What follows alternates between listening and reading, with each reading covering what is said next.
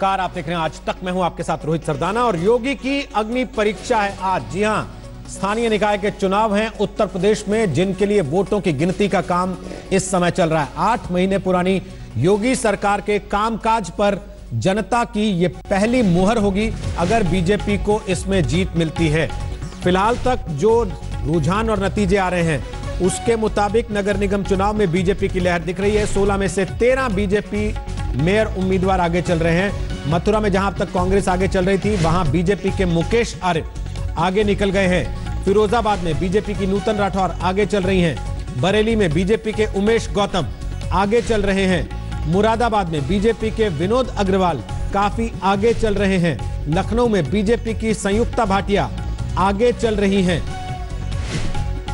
कानपुर में बीजेपी की प्रमिला पांडे, ये भी अपने निकटतम उम्मीदवार से आगे चल रही हैं। गोरखपुर में बीजेपी के सीताराम जायसवाल मेरठ के मेयर कैंडिडेट आगे चल रहे हैं। वाराणसी में बीजेपी की मृदुला जायसवाल इस समय आगे चल रही हैं। कुल मिलाकर ये तस्वीर है मेयर के चुनाव के जो रुझान आ रहे हैं, उसमें 16 में से 13 सीटों पर अभी तक बीजेपी ने बढ़त बना लिया ऐसा लग रहा था एक बार कि बीएसपी कड़ी टक्कर दे रही है, क्योंकि पाँच सीटों पर बीएसपी के उम्मीदवारों ने बढ़त बनाई थी। लेकिन कुछ राउंड बीत जाने के बाद, अब बीजेपी फिर से साफ़ साफ़ तौर पर बढ़त बनाती हुई दिखाई दे रही है। ये शुरुआती रुझान है। हालाँकि आपको बता दें, नतीजे नहीं है, कुछ जगह पर नतीजे आए हैं। वहाँ पर बीजेपी ने शुरुआती बढ़त दिखाई है। सुधांशु त्रिवेदी हमारे साथ बीजेपी से हैं। नदीम जावेद हमारे साथ कांग्रेस से हैं। संजय अग्रवाल हमारे साथ समाजवादी पार्टी से हैं और साथ ही हमारे सहयोगी संवाददाता अलग अलग जगहों से लाइव अपडेट्स आपको दे रहे हैं। गाजियाबाद से, सहारनपुर से, ग्रेटर नोएडा से, लेकिन उसके पहले जल्दी से कमेंट संजय अग्रवाल, आप अभी अभी हमारे साथ चर्चा में शामिल हुए आप क्या कहते हैं शुरुआती रुझानों को देखने के बाद? क्योंकि शरद प्रधान हमारे साथ थे, उन्होंने बड़े साफ़ तौर पर कहा कि समाजवादी पार्टी ने एक तरीके से वॉकआउट दिया है बीजेपी को। उन्होंने सीरियसली चुनाव लड़ा ही देखिए, अभी तो मैं इसमें एक तो ये कहूँगा कि अभी जल्दबाजी होगी। अभी परिणाम आने में कुछ समय अभी बाकी है। और बाकी हमेशा देखा गया है कि स्थानीय निकाय के जो चुनाव हैं रूलिंग गवर्नमेंट को उसका सबसे ज़्यादा लाभ मिलता है। और जो भारतीय जनता पार्टी ने जिस तरीके से उत्तर प्रदेश में स्थानीय निकाय चुनाव को लड़ा है, जिसमें कई जगहों पे हमारे पास कंप्लेन आई बीजेपी की ए, लोगों ने वहाँ पर डोमिनेट करने की कोशिश करी और जैसे कानपुर का ही उदाहरण बताता हूँ हमारे समाजवादी पार्टी प्रत्याशी ने हमको कंप्लेन करके बताया कि साहब करीब छिहत्तर से सत्तर ई मशीनें जो हैं वहाँ पर उनमें गड़बड़ियाँ पाई गई। वोट जो है समाजवादी पार्टी को पड़ रहा था और वो गिना जा रहा था उसमें पर्ची निकल रही थी भारतीय जनता पार्टी की। तो इस तरीके की बहुत सी कंप्लेन पूरे उत्तर प्रदेश से आई हैं। मैं तो ये कहूँगा चुनाव आयोग से कि ये जो व्यवस्था वर्तमान में चल रही है, इसकी कायदे से किसी जुडिशरी उसके, किसी सीनियर जज के द्वारा इसकी जाँच करने की आवश्यकता है। क्योंकि ये जो लहर है, ये लहर तो अब देख ही रहे आप, हर जगह पूरे गुजरात में ही आज परेशान है भारतीय जनता पार्टी।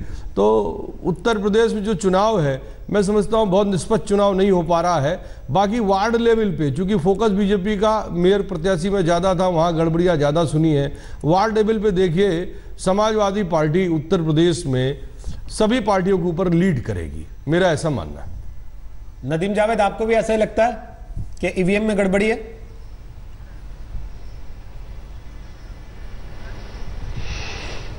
नहीं, रोहित जी ईवीएम पे बार बार सवाल इसलिए उठाया जा रहा है कि अभी समाजवादी पार्टी के प्रवक्ता ने कहा कि बहुत सारी जगहों से ये कंप्लेन आई है 16 शहरों से ये कंप्लेन आई है कि ईवीएम में गड़बड़ी की गई है, या गड़बड़ी वहाँ पे दिखाई दे रही थी।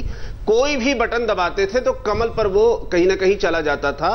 और उसकी सोशल मीडिया पे काफ़ी फुटेज भी वायरल हुई है। दूसरी और अहम बात यह है कि हम लोग बहुत लंबे समय से दिल्ली विश्वविद्यालय छात्र संघ के चुनाव से लेके देश के विभिन्न विश्वविद्यालयों में या विधानसभा में, लोकसभा में काम कर रहे हैं। जो चुनावी तासीर होती है, वो कहीं ना कहीं अंदाज़ा हो जाता है, इसमें ला जाती है कि कौन चुनाव जीत रहा है। मैं स्वयं विधानसभा का चुनाव जीता भी हूँ और हारा भी हूँ।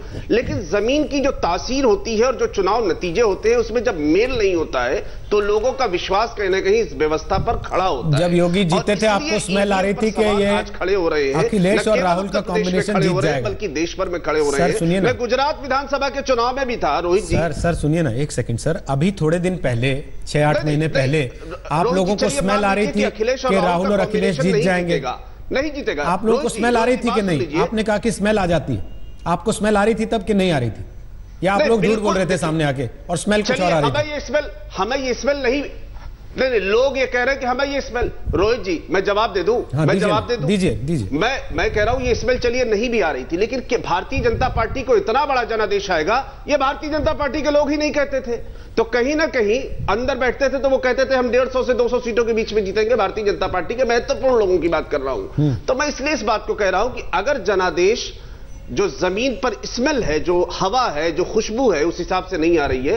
तो ऐसा लोगों को लग रहा है पूरे देश में कि विश्वास है ना लोकतंत्र पे विश्वास है। इस विश्वास का जो संकट खड़ा हो रहा है इसकी ज़िम्मेदारी केंद्र सरकार की है इसमें हस्तक्षेप करने की ज़रूरत है। है। और ज़रूर लोगों का विश्वास इस लोकतांत्रिक व्यवस्था और प्रक्रिया में बना रहे।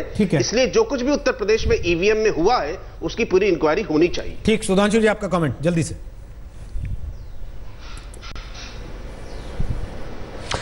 देखिए, समाजवादी पार्टी, जो एक क्षेत्रीय पार्टी है, वो इस प्रकार का गैर जिम्मेदाराना बयान दे समझ में आता है। पर कांग्रेस पार्टी, जिसने छप्पन साल इस देश पे हुकूमत की है, मुझे समझ में नहीं आ रहा उनको क्या हो गया है। आप आरोप भारतीय जनता पार्टी पे नहीं लगा रहे हैं। आरोप सीधे आप चुनाव आयोग पे लगा रहे हैं। जिसने ओपन चैलेंज दिया था, उन्होंने कहा था कि भाई आप हैकाथन कर लीजिए, जो भी आके देख सकता हो। और मुझे यह भी आश्चर्य भाई कांग्रेस पार्टी को क्या हो गया है? आप सुप्रीम कोर्ट तक पे उंगली उठा देते हैं कि जुडिशियल किलिंग ऑफ़ अफजल हुई थी। तो कभी आर्मी के ऊपर क्वेश्चन उठा देते हैं तो कभी इंटेलिजेंस एजेंसीज के ऊपर क्वेश्चन उठा देते हैं रोहिंग्या के मामले में। आज एक प्रकार से चुनाव आयोग के ऊपर आरोप लगा रहे हैं। मेरा मानना है ये आरोप जो है ना, अपने ये भारतीय राजनीतिक पार्टी के ज़मीन को मैनेजमेंट के ईमानदारी से काम न करने के कारण एक या दूसरे मुद्दे के ऊपर अलग अलग जगह बैठे। देश की भिन्न भिन्न। संस्थाओं पर जिस प्रकार से आरोप लगाते हैं ये अपने आप में बहुत दुर्भाग्यपूर्ण है। नदीम जावेद जी मैं फिर ईमानदारी से कहता हूँ कि अगर आपके राष्ट्रीय उपाध्यक्ष ने जाकर उस भीड़ का समर्थन किया था कि अफजल हम शर्मिंदा हैं, तेरे कातिल ज़िंदा किसने कत्ल किया था उसको? भारत के उच्चतम न्यायालय ने, सुप्रीम कोर्ट ऑफ़ इंडिया ने। यानी आप उस पर उंगली उठा रहे थे। तो कभी रोहिंग्या के मामले पे, इंटेलिजेंस एजेंसीज पे उंगली उठा रहे थे। तो फिर कभी आपको लगने लगता है तो आप मीडिया को भी कहने लगते हैं कि साहब ये तो भक्त मीडिया है। तो भैया, मेरा मानना है, आपकी स्थिति यह है कि बुरा जो देखन मैं चला बुरा न मिलिया कोई जो दिल खोजा आप ना, मुझसे बुरा ना कोई दुनिया को देखने की बजाय आप अपने पैरों में जूते पहने तो ज़्यादा बेहतर होगा तो कांटों से बचने की संभावना अधिक होगी। और हम वापस लौट रहे हैं इस वक्त यूपी के स्थानीय निकाय चुनाव पर। उसके अपडेट क्या है? जल्दी जल्दी आपको बता दें। 16 में से 12 बीजेपी मेयर उम्मीदवार इस समय आगे चल रहे हैं। तीन निगम में बीएसपी और एक पर कांग्रेस इस समय आगे चल रही है। अलीगढ़ नगर निगम में फिर बीएसपी ने बढ़त बना ली है। मथुरा नगर निगम में कांग्रेस उम्मीदवार एक बार फिर आगे निकल आए हैं। आज तक इस समय आपको सबसे तेज रुझान और नतीजे बता रहा है। इसके अलावा आपको यह भी बता दें, कई जगह पर पार्षद चुनाव के नतीजे आ चुके हैं। वो भी आपको बताएँगे और इस पर चर्चा भी होगी। कांग्रेस के नदीम जावेद हमारे साथ हैं, सुधांशु त्रिवेदी बीजेपी से हैं, संजय अग्रवाल समाजवादी पार्टी से हैं। तीनों से हम बात करेंगे। 16 में से 12 कम से कम ऐसे मेयर चुनाव हैं जिसमें वोटों की गिनती में बीजेपी इस समय आगे चल रही है तीन में बीएसपी और एक में कांग्रेस इस समय आगे चल रही है। संजय अग्रवाल समाजवादी पार्टी के हमारे साथ हैं। संजय जी आ, कुछ देर पहले वरिष्ठ पत्रकार शरद प्रधान हमारे साथ थे। उनका कहना था कि आप लोगों ने वॉकआउट दे दिया बीजेपी को ढंग से लड़ाई नहीं चुनाव। वाकई ऐसा है क्या? देखिए जो हमारी पार्टी के कार्यकर्ता हैं मैं उनको सैल्यूट करता हूँ क्योंकि हमारी पार्टी के जितने भी कार्यकर्ता हैं वो सभी बहुत ही गंभीरता से बहुत ही गंभीरता से पार्टी के हक में लड़ाई लड़ते हैं। आज जो मेरा अपना मानना है कि उत्तर प्रदेश में किसी भी पार्टी से अगर कार्यकर्ताओं को देखा जाए सबसे ज़्यादा युवा सबसे ज़्यादा अच्छे कार्यकर्ता समाजवादी पार्टी के पास है। लेकिन हमारे कार्यकर्ताओं को ग्रास रूट लेवल पे मैं इसमें कहूँगा जो रिज़ल्ट मैं देख रहा हूँ आज अपने सामने हमारी पार्टी के वरिष्ठ लोगों को मैं एक बार इसके बारे में आगाह करना चाहूँगा कि हम लोगों को अपने मूल संगठन जो हमारा जो ग्रास रूट संगठन है ठीक है। उसके ऊपर बहुत अच्छे तरीके से काम करने की आवश्यकता है। आज हमारे पास मेंबर की संख्या बहुत ज़्यादा है हमारे पास अच्छे कार्यकर्ताओं की संख्या बहुत ज़्यादा है। समाजवादी पार्टी के जितने भी कार्यकर्ता है बड़ी पूरी मजबूती से चुनाव लड़ते हैं लेकिन उसको व्यवस्थित अगर कर दिया जाए तो समाजवादी पार्टी उत्तर प्रदेश की सबसे बड़ी पार्टी बनकर के उभरेगी। नदीम जावेद आपको लगता है आप लोगों को भी ऐसी सोच के साथ आगे बढ़ने की ज़रूरत है जैसा समाजवादी पार्टी सोच रही है? फिर एम एन पांडे साहब की बात सुनवाते हैं। जल्दी से।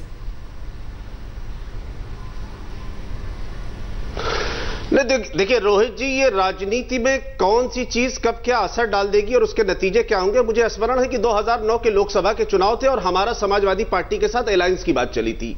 वो अलायंस हुआ नहीं फाइनली इसलिए कि समाजवादी पार्टी हमें सीटें कम दे रही थी। तो जितनी सीट समाजवादी पार्टी उस समय हमारी दे रही थी हम जब 2009 के लोकसभा के चुनाव के नतीजे आए तो हम 2009 में 22 लोकसभा की सीटें जीत गए थे और उस डेटा के हिसाब से सत्तानवे विधानसभा की सीटें जीत गए थे। तो मुझे लगता है कि राजनीतिक दल अपने हिसाब से काम करते हैं और जनता फैसले करती है कि क्या नतीजे आएँगे क्या नहीं आएँगे। लेकिन एक महत्वपूर्ण बात है मुझे थोड़ा सा समय दे दीजिए तीस सेकंड का कि सुधांशु त्रिवेदी जी ने यह सवाल उठाया था कि कांग्रेस संस्थाओं पर सवाल खड़े कर रही है। ये संस्थाएँ जो खड़ी हुई हैं पिछले साठ सालों में खड़ी हुई है। और जहाँ अफजल गुरु का सवाल जिसकी उन्होंने चर्चा की मैं केवल इतना कहना चाहता हूँ कि अफजल गुरु को फांसी कांग्रेस के शासनकाल में दी गई थी। अफजल गुरु को जो लोग शहीद मानते हैं उनके साथ मिलकर कश्मीर में आप सरकार चला रहे हैं। तो वैचारिक धरातल पर भारतीय जनता पार्टी कहाँ खड़ी है वो भारतीय जनता पार्टी को जवाब देने की आवश्यकता है। राहुल गांधी का सवाल रहा। राहुल गांधी के पिता ने राहुल गांधी की दादी ने इस देश के लिए अपना खून बहाया है और इस देश नदीम साहब समय खत्म हो गया है लेकिन मैं उम्मीद करता हूँ मेहमान हमारे साथ बने रहेंगे लेटेस्ट खबरों के लिए यू ही देखते रहिए आज तक। और इस वीडियो के पसंद आने पर लाइक शेयर एंड सब्सक्राइब करना ना भूलें।